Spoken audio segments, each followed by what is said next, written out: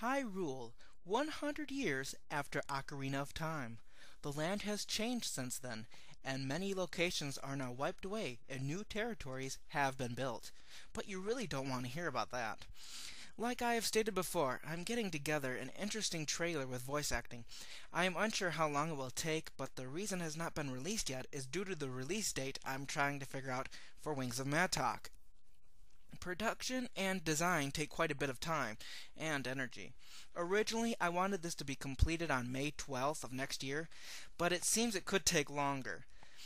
The voice actors are also trying to perfect their lines and deliver a straightforward message while teasing you all with glimpses into the gaming world itself of the Wings of Matoc. Speaking of Matoc, a while ago I mentioned on my channel that I had decided to bring in the owl race itself. Many Zelda games contain an owl that guides or aids a hero, but they have yet to be revealed if they have their own race and why they do this. Let me introduce you to the origins of the wondrous birds as you will visit level 7 in the game, known as the Alantri Sanctuary. For the past week or so, I have been designing the Alantri Sanctuary along with its dungeon layout and puzzles. By far, I would have to say this will be the most irritating and complex dungeon in the entire game for most of you players out there. You not only have to solve puzzles, but multiple puzzles to eventually solve a single room.